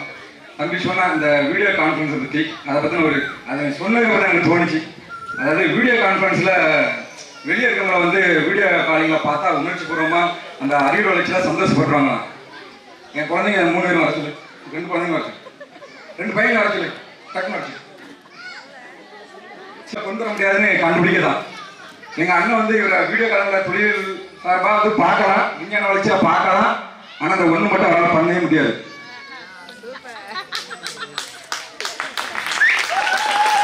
இதுதான் இந்த வரம் என்னன்னு தெரியும் உங்களுக்கு? அதுல எந்த நெகட்டிவ்மே இருக்கக்கூடாது. அதுக்கு பேர் தான் வரம். எல்லாருக்கும் குழந்தை பிறக்கணும் அப்படின்னு நினைப்போம். பிறக்கிற குழந்தை வந்து யாருக்காவது குழந்தை பிறந்தா அதை வரம்னு சொல்லுவோமா? நான் ஏற்றுக்கிட்டேன் நான் ஆண்டாயிரம் மொபைல் வச்சிருக்கேன் மைக் வச்சிருக்கேன். எல்லாம் ஓகே தான். ஏதோ தம்பி சொன்னாப்பல எல்லாரும் காரு பங்களா வீடியோ வீடியோ அதெல்லாம் ஒன்றும் பிரச்சனை இல்லை. எல்லாரும் அதை வந்து பண்ணுவோம் மனிதன் பார்க்கப்படுதா? நிலத்தடி நீர் நிலத்தடி நீர்னு ஒன்று வந்துச்சு. அதை பத்து மேல் வீட்டுக்காரன் நூறு அடி அடுத்த வீட்டுக்காரன் நூத்தம்பது போய் இன்னைக்கு தெக்கணத்துல இங்க இருக்க கீழ்ப்பகுதி மக்கள் எத்தனை பேர் வந்து அந்த தெக்கணத்தை தனியை மறந்துருக்கீங்க? அடுத்த சமுதாயத்துக்கு வரைக்கும் அதை கொடுத்துருக்கீங்களா? அதை யாரும் வந்து கொடுக்கல. அப்புறம் லாஸ்டா ஒண்ணே ஒன்று சொல்லுங்க ரொம்ப கடமைப்பட்டுருக்கேன் இந்த நெகட்டிவ் பாயிண்ட்ஸ் சொல்றவங்க வந்து எப்போதைக்கும் கொஞ்சம் இதாக நினைக்கிறாங்க. எனக்கு கல்யாணம் ஆகி வந்து பத்து வருடம் ஆகுது. ஆரம்பத்தில் எங்கள் அம்மா வந்து நல்லா சமைப்பாங்க. ஆனால் என் மனைவிக்கு நல்லாவே சமைக்க தெரியாது. நான் சொல்லிட்டே இருப்பேன். உனக்கு நல்லா சமைக்க தெரியல சமைக்க தெரியல சமைக்க தெரியல சமைக்க தெரியல அப்படின்னு. இப்போ கடைசியா ரெண்டு வருஷம் எங்க அம்மாவோட நல்லா சமைக்கிறது என் மனைவி தவிர யாரும் கிடையாது. அதனால ஒரு நெகட்டிவ் பாயிண்ட் சொல்றாங்க உடனே வந்து ஏதோ நெகட்டிவா சொல்றான் அப்படின்னா இந்த ஊர்ல கிறிஸ்தவர்கள் இருக்கீங்க? கை தூக்க. இந்து மதத்தை பின்பற்றவங்க எத்தனை இருக்கீங்க? கடவுள் இல்லைன்னு சொல்ல சில முத்தாள்கள் கூட இருக்காங்க இந்த இந்த ஊர்ல. கடவுள் இல்லை இல்லைன்னு சொல்லிட்டே அலைவான். அவங்களுக்கு குறிப்பா வந்து சொல்றேன். நடுவருக்கு சேர்த்து. உங்க அறிவியல் விஞ்ஞானம் வளர்ந்ததெல்லாம் ஓகே தான். அந்த ஐம்பூதங்கள் சொல்றீங்களா? இந்த ஒண்ணு மட்டும் நீங்க கரெக்டா எல்லாரும் இப்ப அவர் ஓட்டு கேட்டாவே நீங்க எல்லாரும் அதை நினைக்கணும். இந்த ஐம்பூதங்கள் சொல்லுவாங்களா நிலம் நீர் காற்று ஆகாயம் நெருப்பு. இந்த அஞ்சையும் உங்க விஞ்ஞானம் கெடுக்கல. எந்த தப்பையும் செய்யல. இந்த அஞ்சும் அப்படியே இருக்குன்னு நீங்க உண்மைகளை நினைச்சா எங்களுக்கு அந்த வாய்ப்பை கொடுங்க. இது சாபமா வரமானு. வரம் என்ன தெரியுமா? எந்த நெகட்டிவுமே இருக்காம இருக்கு. பேர் தான் வரம். ஆனா இது சாபம் ஏன் சொல்றேன்னா எனக்கு அதோட அறிவு பிடிக்கிறது இல்ல. எனக்கு அது வரமா மாறுங்கிற ஒரு ஒரு கோரிக்கை இருக்கு. எனக்கு சாபங்கிற இடத்துல எனக்கு தேவையில்லை. அந்த இடத்துல ஒண்ணு. நான் அங்க இருக்குன்னு எனக்கு நினைக்கல. எனக்கு இந்த மாதிரி ஒரு சூழ்நிலை இருக்கக்கூடாது. அதுக்காகத்தான் இதை நான் பேச வந்திருக்கேன். அப்புறம் கடைசியாக ஒரு சின்ன உரையை முடிக்கிறேன். நம்ம எல்லாருக்கும் வந்து வாய்ப்புகள் வந்து ஈஸியாக கிடைக்காது. சிலவங்களுக்கு வாழ்க்கை எப்படினாலும் மாறும். ஒரு நேரம் சந்தோஷமாக இருக்கும் திடீர்னு வாழ்க்கையில் கஷ்டங்கள் எவ்வளோ பெரிய விஷயம்னாலும் வரும். அதெல்லாம் எடுத்து நம்ம வாழணும்னா அதுக்கு ஒன்றே தான் இருக்குது குறிப்பாக வந்து எனக்கு இந்த வரணும்னு பேசுகிற இடத்துல தான் எனக்கு நாற்காலி ஃபஸ்ட் கொடுக்கணும். நான் அதை தான் பத்து நாளாக ப்ரிப்பேர் பண்ணிட்டு இருந்தேன். ஆனால் கடைசியாக பதிவு செஞ்சதுக்காண்டி எனக்கு வரங்கிற தலைப்பு கிடைக்கல. முடியும். உங்களால எதுனாலும் பேசுறதே மாட்டி விட்டுருக்காங்க ஆ, சரி அது பாடகுமாரன் அது என்னோட நம்பிக்கைக்கு வந்து நன்றி. எனக்கு சாபம் கொடுத்தாங்க. தன்னோட தனக்கு கடைசி நேரத்துல கூட நம்ம நினைச்ச இடம் கிடைக்காட்ட நமக்கு எது கொடுக்கப்படுதோ அந்த இடத்துக்காக போராடுங்க. அந்த இடத்துக்காக வாழுங்க. நம்ம வாழ்க்கையில வச்சு போயிடுவோம் நன்றி. அதாவது எந்த கட்சி கிடைக்க அந்த கட்சியில இருந்து ஜெயிக்கணும். அவ்வளவுதான். உண்டான வெரி குட் ரெண்டு விஷயம் சொல்றாரு. பஞ்சபூதங்கள். பஞ்சபூதங்களை நம்ம அடக்கி ஆள முடியுமா? இயற்கை நம்ம ஒன்றும் செய்ய முடியாது. அதே மாதிரி பிள்ளையை கூட்டு ஒரு குடும்ப உறவை உண்டாக்குறாரு. இது அறிவியால் கொடுக்க முடியுமா? தனி மனித வாழ்க்கையில் எல்லாம் நடக்கதான் செய்யும். இப்போ நான் ஆறு பேர் பேசுனாங்க. பல்வேறு வளர்ச்சிகளை பத்தி வீட்டில் இருந்து பேசுனாங்க. பட்டிமன்ற மகாபலி முதல்ல அந்த எதிர்கட்சி ஆட்களை பேச சொல்லணும். நீ டைம் ஆயிட்டீங்கனால பேச வைக்கிறதுக்கு நேரம் இல்லை. இருந்தாலும் ஒரு சில விஷயங்களை சொல்லி தீர்ப்பை வழங்கலாம்னு நினைக்கிறேன். வீட்டு உபயோகப் பொருட்கள். முதல்ல இந்த mixie grinder fridge washing machine அந்த இதெல்லாம் தேவையா? ஒரு வீட்டுல ஒருத்தர் வேலை பார்த்தாங்கன்னு சொன்னா குடும்பத்துல இருக்கவங்க வந்து வீட்டுல இருக்க மனைவி வந்து வீட்டு வேலை பூரா பார்த்துருவாங்க முன்னால ஹவுஸ் ஒய்ஃப் சொன்னாங்க இப்ப என்ன சொல்றாங்க? Home maker home maker home வீட்டை உருவாக்கக்கூடிய ஒரு சக்தி உள்ள சக்தி அது. அந்த சக்தி. ஆனா ரெண்டு பேரும் வேலைக்கு போனா? விடியக்காலம் எரிஞ்சு எல்லாரும் எல்லா வேலையும் செஞ்சாதான் போக முடியும். இப்போ இந்த வீட்டு உபயோக தேவையா தேவையில்லையா? அவர் சொல்றாரு இந்த வீட்டு உபயோக சயின்டிபிக் இன்னோவேஷன் வந்து நம்முடைய மனிதர்களை சோம்பேறியாக்குன்னு சொல்றாரு. உண்மைதான். நாம சின்ன பிள்ளையா இருக்கும்போது பத்து பிள்ளை போட்ட பத்து போட்ட தாய்மார்களை பார்த்துருக்கோம். இப்ப நீங்க பத்து பிள்ளை பத்து ரெடியா இருக்கீங்களா? சொல்லுங்க. இல்ல முடியாது. ஏன்னா அந்த அளவுக்கு நம்முடைய உடல் திறன் இல்லை. அடுத்து பாருங்க தகவல் தொடர்பு. இதுல தகவல் தொடர்பு வந்து நம்ம அந்த காலத்துல வந்து தபால் எழுதணும் தந்தி அடிச்சோம் அப்ப தந்தியே போயிட்டு. இப்ப எல்லாமே கையில இருக்க செல்போன் தான். இல்லைன்னா லேண்ட்லைன் போன் வேற எதுவுமே கிடையாது. ஒருவேளை இன்னும் தகவல் வேணும்னு சொன்னா பிளாஷ் நியூஸ் பாருங்க. நிறைய ஆட்கள் பிளாஷ் நியூஸ் பார்க்க ஆரம்பிச்சிட்டாங்க. ஏன்னு சொன்னா டெல்லியில ஒரு கோர்ட்ல ஒரு தீர்ப்பு சொல்றாங்கன்னா அடுத்த அஞ்சாறு நிமிஷம் இங்க போட்டுட்டு வந்தாங்க ஏய் இந்த கோர்ட்ல இந்த கேஸ் விஷயமா தீர்ப்பு இது. முன்னாலனா அடுத்த நாள் பத்திரிகையை பார்த்தா தெரிஞ்சுக்கணும். அந்த அளவுக்கு அந்த தகவல் தொடர்பு இல்லாத காலம் இப்பொழுது அது சீக்கிரமா வந்துருது. ஆனா அதே தகவல் தொடர்பு இருக்கக்கூடிய இந்த காலத்துல பேஸ்புக்ல வாட்ஸ்அப்ல பாத்தீங்கன்னு சொன்னா தேவையில்லாத விஷயங்கள் வருது. பேஸ்புக் காதல். அன்னைக்கு சொன்னா கள்ளப்பட்டு கொண்டாடுறது அது ஒரு பிரச்சனை. பேஸ்புக்ல வாட்ஸ்அப்ல தேவையில்லாத கருத்துக்களை பதிவு செய்யறாங்க. இது வரமா சாபமா? உங்க கணக்கு வருது. ஏன்னா சமூகத்தை பத்தி திட்டுறான். ஒரு தான் என் சமூகம் பெரிய சமூகம். ஏன்னா எங்க இருக்க நீ வாழ உடனே என்ன செய்ய முடியுமான்னு கேட்கறான். இது வந்து சரியான விஷயமா? தகவல் தொடர்பு சாதனம் செல்போன் எதுக்கு வச்சிருக்கோம்? இங்க இருந்து நம்ம தகவலை சொல்றதுக்கு வீடியோ கால் போட்டு பேசுறோம். அமெரிக்காவில் இருக்கவங்களுக்கு நன்மைதான் ஆனா அதே தகவல் தொடர்பு சாதனத்தை நம்ம என்ன என்ன செய்யறோம்? மாத்தி பயன்படுத்துறோம். அடுத்து பாருங்க விவசாய முறையை சொன்னாங்க. அந்த காலத்துல ஏர் பூட்டி உழுது சாண போட்டு செஞ்சாங்க. அப்படி செய்யும் போது அந்த விவசாயம் அதுலேருந்து வரக்கூடிய விளைபொருட்கள்லாம் எப்படி இருந்தது? இப்போ இருக்கக்கூடிய இயற்கை விவசாயம். நம்ம ஆட்கள் அந்த நம்மாழ்வார் ஆட்கள் செய்யற மாதிரி இயற்கை விவசாயம் நல்லா ஜம்முன்னு செழிப்பா இருக்கு. அதை வாங்கி யார் சாப்பிடுறதா? சாப்பிடுறது ஏன்னா இப்போ பாருங்க புதிய முறையில வந்து உங்களுடைய பூச்சி மருந்து உரம் பக்கத்து வயல்காரன் ஒரு கூட உரத்தை போட்டாங்கன்னா நம்மளால ஒன்றரை கூட உரத்தை போடலாம். காரணம் பயிர் செழிச்சு வளரணுமா. அந்த அளவுக்கு ஒரு இதை போடுறாங்க. அந்த மருந்து மருந்து அடிக்கிறது பூச்சி மருந்த நிறைய அடிச்சா தான் சீக்கிரம் பூச்சி சாகும் இந்த மருந்து எங்க போகுது பாருங்க. நம்ம வயிற்றுக்கெல்லாம் போகுது. அடுத்து போன வாரம் நினைக்கிறேன் எங்க ஊர் குளத்துல வெள்ளரி போடுறாங்க வெள்ளரி வழக்கமா கழுவாம சாப்பிடக்கூடாது. இன்னைக்கு சரி. ஏன்னா சமீபத்தில் மருந்து அடிக்கிறாங்க. நான் தெரியாம எடுத்து கடிச்சிட்டேன். கடிச்சு அடித்து சுடுதுன்னு வந்துச்சு ஏ என்னப்பா அப்படின்னு கேட்டா? அது நேத்தா மருந்து அடிச்சல லேசா அப்படிங்க எப்படி? அப்போ வெள்ளரிக்கு கூட மருந்து அடிக்கக்கூடிய சூழ்நிலை இங்க இருக்குது அடுத்து பாருங்க தொழில் வாய்ப்பு. தொழிற்சாலைகளை நிறைய தொடங்குறாங்க. நம்ம ஆளுகளுக்கு வேலை வாய்ப்பு அதிகமா கொடுத்ததுனால மாதிரி தனி மனிதனுடைய பொருளாதாரம் சமுதாய அந்தஸ்து எல்லாம் வளருது. நானும் சொல்றேன் ஒரு காலத்துல வறுமை கோட்டத்துக்கு கீழே நிறைய பேர் இருந்தாங்க. இப்ப அப்படி யாரும் இருக்கா? சாப்பாடு தொழிலாளர் இருக்காங்களா? அப்படி யாருமே இல்லை. தன்னுடைய உழைப்பினாலே அவர்கள் வந்து என்ன செய்யறாங்க எல்லா விஷயங்களையுமே தன்னுடைய தனக்கு தேவையான விஷயங்களை வாங்கிக் கொள்கிறார்கள். தொழிற்சாலையுடைய கழிவுகளை பத்தி பேசுவோம் போதுங்க திருப்பூர்ல சாயப்பட்டறை இருக்கு. அங்க வந்து நம்முடைய நெல்லை மாவட்ட மக்கள் நிறைய பேர் குடியிருக்கிறாங்க. தொழில் வளம் பெருகுது வருமானம் வருது. ஆனா அந்த சாயப்பட்டிலிருந்து வெளியே போகக்கூடிய நீர் எங்க போகுது? அங்க பக்கத்துல இருக்க ஆத்துலாங்க அதனால நிலத்தடி நீர் மாசுபடுகிறது. ஒண்ணு. அடுத்து பாருங்க கூடங்குளம் அணுமின் நிலையம். பல பேருக்கு வேலை வாய்ப்பு. மாற்றுக்கிறது இல்ல. நமக்கு மின்சாரம் கொண்டு வர முடியாதுன்னு கண்டுபிடிக்கதான். எங்க அண்ணன் வந்து இவர வீடியோ கலந்துல தொழில் சார்பா வந்து பார்க்கலாம். விஞ்ஞான வளர்ச்சியா பார்க்கலாம். ஆனா அந்த ஒண்ணு மட்டும் அவரால் பண்ணவே முடியாது.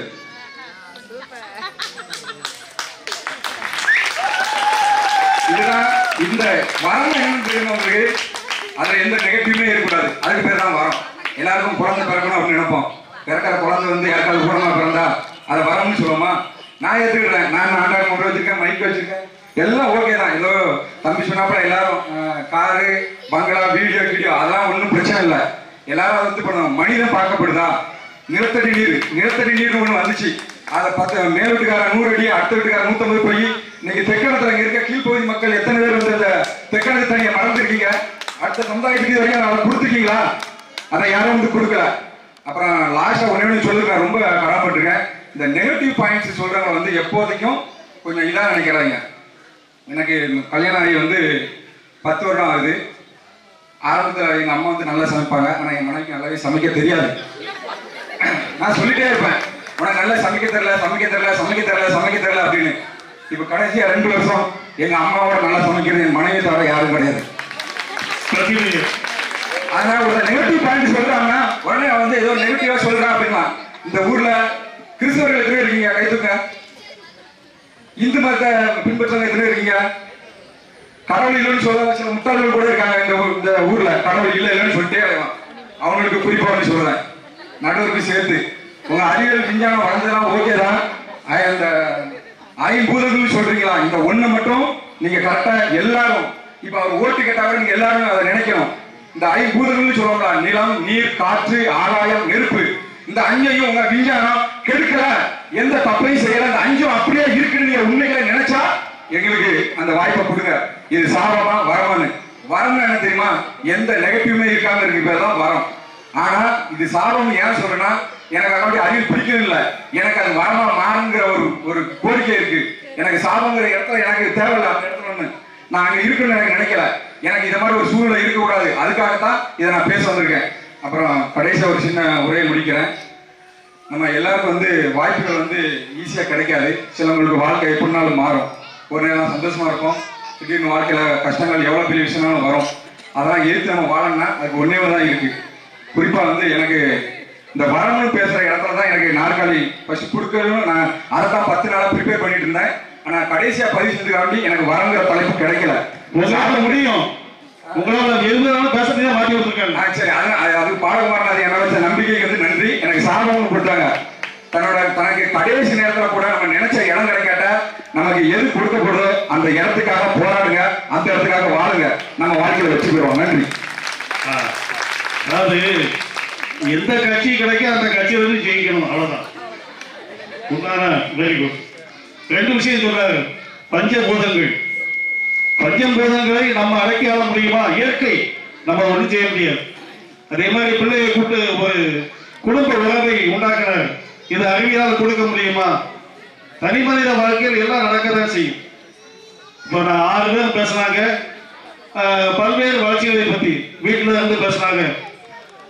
பட்டிமன்ற நகர்படி முதல்ல அந்த எதிர்கட்சி ஆட்கள் பேச சொல்லணும். நீ டைம் ஆயிட்டீங்கனால பேச வைக்கிறதுக்கு நேரம் இல்லை. இருந்தாலும் ஒரு சில விஷயங்களை சொல்லி தீர்ப்பை வழங்கலாம் நினைக்கிறேன். வீட்டு உபயோகப் பொருட்கள். முதல்ல இந்த mixie grinder fridge washing machine அந்த இதெல்லாம் தேவையா? ஒரு வீட்டுல ஒருத்தர் வேலை பார்த்தாங்கன்னு சொன்னா குடும்பத்துல இருக்கவங்க வந்து வீட்டுல இருக்க மனைவி வந்து வீட்டு வேலை பூரா பார்த்துருவோம் முன்னால ஹவுஸ் ஒய்ஃப் சொன்னாங்க இப்ப என்ன சொல்றாங்க?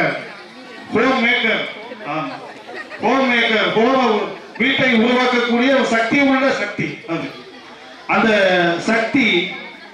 ஆனா ரெண்டு பேரும் வேலைக்கு போனா விடியக்காலம் எஞ்சி எல்லாரும் எல்லா வேலையும் செஞ்சாதான் போக முடியும். இப்போ இந்த வீட்டு உபயோக பொருட்கள் தேவையா தேவையில்லையா? அவர் சொல்றாரு இந்த வீட்டு உபயோக பொருட்கள் சயின்டிபிக் இன்னோவேஷன் வந்து நம்முடைய மனிதர்களை சோம்பேறி ஆக்குன்னு சொல்றாரு. உண்மைதான். நாம சின்ன பிள்ளையா இருக்கும்போது பத்து பிள்ளை பட்டு பத்து போட்ட தாய்மாரை பார்த்துருக்கோம். இப்ப நீங்க பத்து பிள்ளை பத்து ரெடியா இருக்கீங்களா? சொல்லுங்க.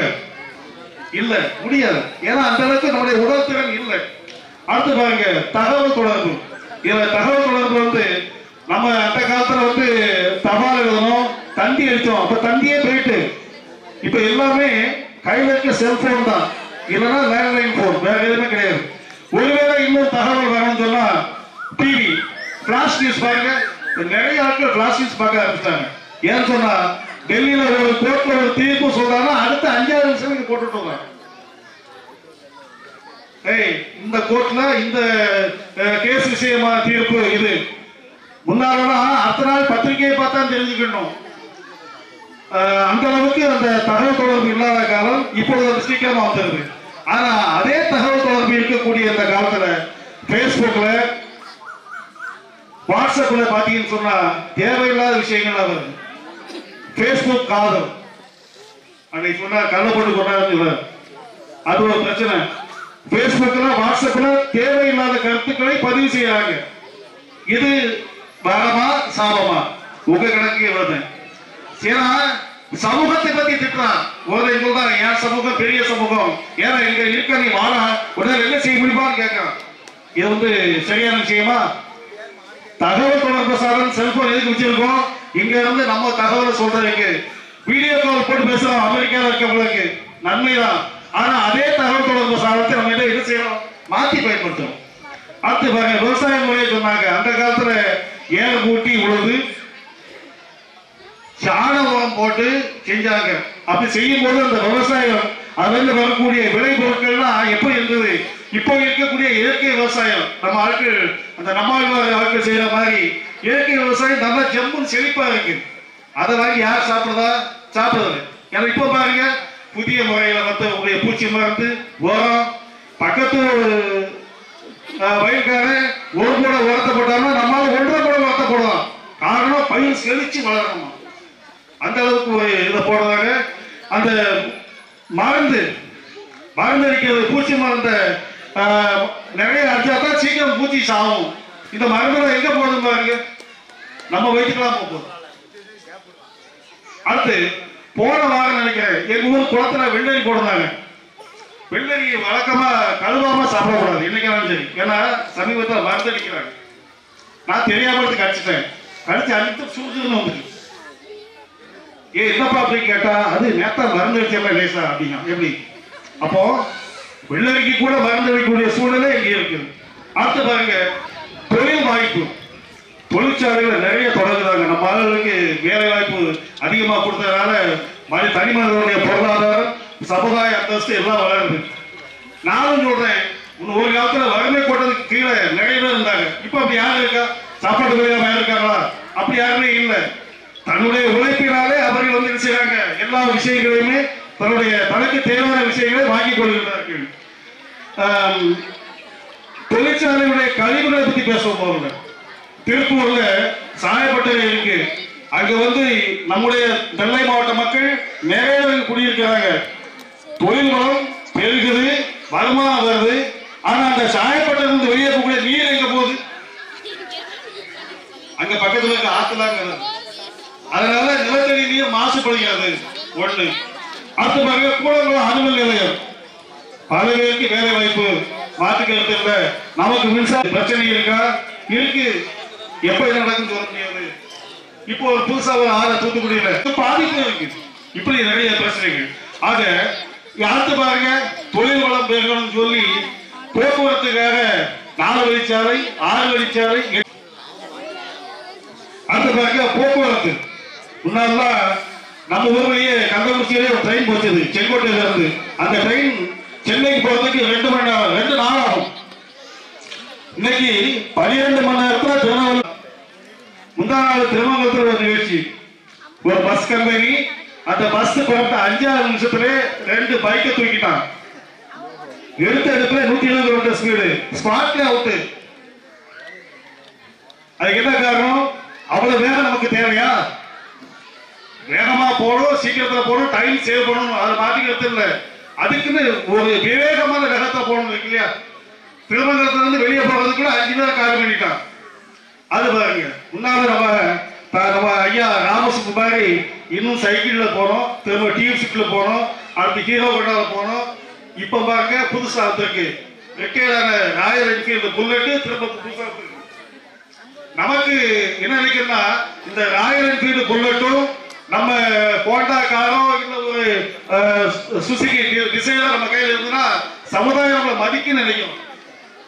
போக்குவரத்துல அவ்வளவு வச்சிருக்கிறோம். ஆனா இதே போக்குவரத்து இந்த போக்குவரத்து சாதனங்கள் நான் ஏற்கனவே சொன்னேன் எங்க ஊர்ல ஒரு பையன் பைக்ல போற பையன் ஒரு சின்ன விஷயத்தால ஸ்பாட்ல வந்து எனவே இதுல நல்ல விஷயம் இருக்கு கெட்ட விஷயம் இருக்கு. இதுல நான் இப்பதான் உங்களுக்கு கேள்வி போறேன் நாற்பது வருஷத்துக்கு நாங்களாம் போகும்போது சைக்கிள்ல போகிறேன் எங்க ஊர்ல இருந்து பவர் சித்திரத்துக்கு ஒன்றாவது படிக்க போகணும்னு சொன்னா ரெண்டு கிலோமீட்டர் நடந்துதான் போகணும். திரும்ப எங்க அப்பா எனக்கு சைக்கிள் வாங்கி கொடுத்தாரு. இந்த நாற்பது வருஷத்துக்கு முந்தி இருந்த வாழ்க்கைக்கு உங்களால யாராவது போக முடியுமா? சொல்லுங்க. வாயை திறக்க மாட்டீங்க? ஏன் போக முடியாது? நாங்க இப்படி பழகிட்டோம். ஆ. அடிக்ட் ஆயிட்டோம் இந்த புதிய பொருள்களுக்கு நம்ம வந்து என்ன ஆயிட்டோம் அடிக்ட் போதை அடிமை அவ்வளவுதான். வேற ஒண்ணுமே செய்ய முடியாது. இனிமே ஒரு ஒரு வாரத்துக்கு ஒரு வாரம் வேண்டாம். இன்னைக்கு காலையில ஒன்பது மணில இருந்து சாயங்காலம் அஞ்சு மணி வரைக்கும் இன்னைக்கு கரண்ட் சடம் சொல்லட்டும். சோழி குடிஞ்சு போச்சு. ஆஹ் அது ஒரு பக்கம். மதியம் பன்னெண்டரை வந்து ஒன்றரை வரைக்கும் வந்து சேர்ந்திருக்கேன் ஊர்ல இருந்து வந்து ஒரு மணி நேரம் ஏசி காரில் வந்திருக்கேன். கீழே இறங்கினோடனே அங்க ராஜனை பார்த்தோன்னே என்னன்னே வெக்க அடிக்கு? பழகிட்டோம். நம்ம பழக்கத்தை மாத்த முடியுமா? முடியாது. வீட்டுல மிக்ஸி வச்சு அடிச்சு அம்மாவை இல்லம்மா இன்னைக்கு மட்டும் ஐயா சொன்ன மாதிரி கொஞ்சம் லேசா அம்மியில இழுத்து அடன்னு சொன்னா உனக்கு வேற வேலை கிடையாது வேலையை பார்த்து போக சொல்லிடுவான். சோழ திங்கன தின்னு இல்லைன்னா நாளைக்கு கடன் கட்டுவான் அப்படி சொல்லக்கூடிய அளவுக்கு வந்துடும் ஒரு நாள் மின்சாரம் இல்லாம ஒரு நாள் இந்த மின்சார பொருட்கள் இல்லாம உங்களால் இருக்க முடியுமா? ஆமா. முடியாது. பழகிட்டு. அடுத்து பாருங்க. ஒரு நாள். அவங்க எல்லாம் சொல்றாங்க? இந்த செல்போனை ஒரு நாள் தூக்கி தோல் போட்டு இருக்கோம் என்னைக்கா ஒரு நாள்? இன்னைக்கு செல்போன் சேவை கிடையாது. சொல்லுங்க. ஒண்ணுமே இல்லாத ஒரு நபர் கூட பத்து ரூபா செலவுக்கு காசு இருக்காது. என்ன வச்சிருப்பான் ஆண்ட்ராய்டு போன் வச்சிருப்பான் அந்த போன் வச்சிருந்தா தான் சமுதாயத்தில் மதிப்பு நீ கையில நிறைய நிறைய பேர் நீங்க பஜார்ல பாத்துருக்கீங்க சும்மா வெறுங்கையை வீசிட்டு போவான் கையில இருக்கும்? செல்போன். இந்த செல்போனை நல்ல விஷயத்துக்கு பயன்படுத்த தகவல் தொடர்பு வேண்டியதா இல்லைன்னு சொல்லல. அந்த செல்போன்ல என்னெல்லாம் இருக்கு? உள்ள அப்படி லேசா நுழைஞ்சு பாத்தீங்கன்னா தெரியும். யூடியூப் ஒன்று இருக்கு. நல்ல விஷயம் இருக்கு கெட்ட விஷயம் இருக்கு. ஆக அறிவியல் என்பது நமக்கு பல்வேறு வகையில் நிறைய விஷயங்களை சொல்லுது. அதுல பிரச்சனைகளும் இருக்கு. இப்படி பழைய காலத்துல இருந்து இப்ப புதிய நடைமுறைக்கு பழகிற நம்மளால என்ன செய்ய முடியல? புதிய காலத்துக்கு வர முடியல. நான் சொன்ன மாதிரி ஒரு நாள் செலவு வேண்டாம் ஒரு மணி நேரம் செலவு முடியாது. ஒரு நாள் வீட்டு உபயோகப்படுறதுக்கு டோ போடுங்க முடியாது. அந்த அளவுக்கு பழகிவிட்டனால நம்முடைய பழக்க வழக்கத்தை மாற்ற முடியல. இதுல ஒரு இதுதான் ஒரு விஷயம் சைடுல சொல்றாங்க. For every action there is an equal and opposite reaction சொல்றாங்க. எல்லா செயல்களுக்கும் சமமான எதிர்வினை இருக்கிறது. இது அறிவியல் உள்ள விஷயம். நன்மையும் இருக்கு இந்த நன்மையை அடிச்சு எதிர்க்கக்கூடிய அளவுக்கு தீமையும் இருக்கு. இதைத்தான் அந்த காலத்துல ஒரு பாடல்ல உறவு சுட்டு வாரியில் ஒரு பாட்டு இருக்கு. ஆற்றலும் அறிவும் நன்மைகள் ஓர்க இயற்கை தந்த பரிசாகும். இது காட்டினை அழித்து நாட்டினை வளர்க்க நினைத்தால் எவர்க்கும் வழிவாகும்.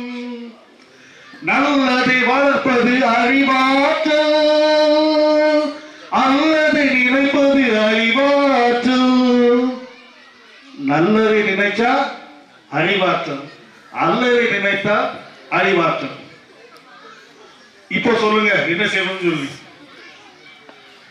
இதனாலதான் நான் சொல்றோம் ஒரு பைபிள்ல ஒரு விஷயம் இருக்கு. கடவுள் ஆதாமி ஏவாளை படைச்சாங்க படைச்சு ஒரு காட்டுல வந்து விட்டாச்சு. நீங்க இருந்த வேணா செய்யுங்க. இந்த இந்த காட்டுல உள்ள அவ்வளவு பழங்களையும் சாப்பிடலாம். ஆனா இந்த மரத்துக்கிட்ட மட்டும் போகக்கூடாது. சொன்னாரா? கேள்விப்பட்டிருக்கீங்க நீங்க பைபிள் சொல்லியிருப்பாங்க ஆனா சாத்தான் என்ன சொல்லுதுன்னு சொன்னா ஆ, அதெல்லாம் நல்ல படம் தான்ப்பா இதை சாப்பிட்டு பாரு. உனக்கு தெரியும் ஜம்முன்னு இருப்ப நீ. உனக்கு பாலிபத்தில் இருப்ப உனக்கு இளமையோட எல்லா விஷயமும் தெரியும். சாப்பிடுறது சொல்றான். நம்ம ஆட்டு சாப்பிட்டான் சோறு பிடிச்சு போனான் அப்போ எதை செய்யாதுன்னு சொல்றோமோ அதைத்தான் செய்வான் நம்ம ஆள்.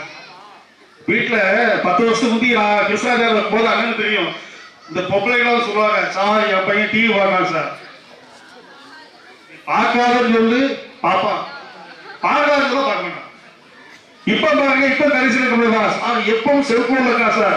நைட்ல எவ்வளவு இங்கிலீஷ்கார போயிருக்கா சார்? நீ செய்யாதன்னு சொல்லு செய்வான். அந்த அளவுக்கு நம்ம மாறி போறோம் எனவே இந்த அறிவியல் வளர்ச்சி என்பது பல்வேறு கண்டுபிடிப்புகளை சொல்லிய ஒரு விஷயம். இந்த அறிவியல் இருமுறைகள் கூட உள்ள கத்தி போறது இந்த கத்தி இருக்கு வீட்டுல. கத்தியை வச்சு காய்கறி வளர்க்கணும் கழுத்தை வளர்க்க முடியுமா? கழுத்தை இருக்கிறா சோறு முடிஞ்சு போவோம் எனவே இந்த அறிவியல் ஆயுதங்களை மனித வளர்ச்சிக்கு தேவையாக பயன்படுத்தும் போது அது என்ன செய்கிறது? வரமாக அமைகின்றது. நாம வரமாக நினைக்குமா சாவன் நினைப்போமா? எனவே இந்த அறிவியல் வளர்ச்சிகளை தேவையான விஷயங்களை எடுத்துக்கொண்டு அன்னப்பறவை என்ன செய்யும்? தேவையான பாலை குடிக்கும் தண்ணீரை விட்டு அதே போல மனித குலம் வாழ வேண்டும் என்று சொன்னால் இந்த அறிவியல் விஷயங்களை நல்ல விஷயங்களை எடுத்துக்கொண்டு தீமைகளை விட்டொழிந்து சமுதாய வளர்ச்சிக்கு நீங்களும் வாழணும் உங்களுடைய சந்ததிகளை வாழ வைக்க என்பதை கேட்டுக்கொண்டு இந்த பட்டிமன்றம் நடத்துவதற்கு நல்ல வாய்ப்பினை நல்கிய நம்முடைய சிங்கப்பட்டி உயர்நிலைப் பள்ளியுடைய முன்னாள் மாணவர் சங்கத்திற்கு குறிப்பாக தற்கு இளையராஜா அவர்களுக்கு மயூர் அண்ணன் ஆர்வலர் அவர்களுக்கு நம்முடைய நன்றியை தெரிவித்துக் கொண்டு அறிவியல் வளர்ச்சி என்பது மனித உலகத்திற்கு வரவே என்று சொல்லி தீர்ப்பு செய்து அமைகின்றேன். நன்றி வணக்கம்.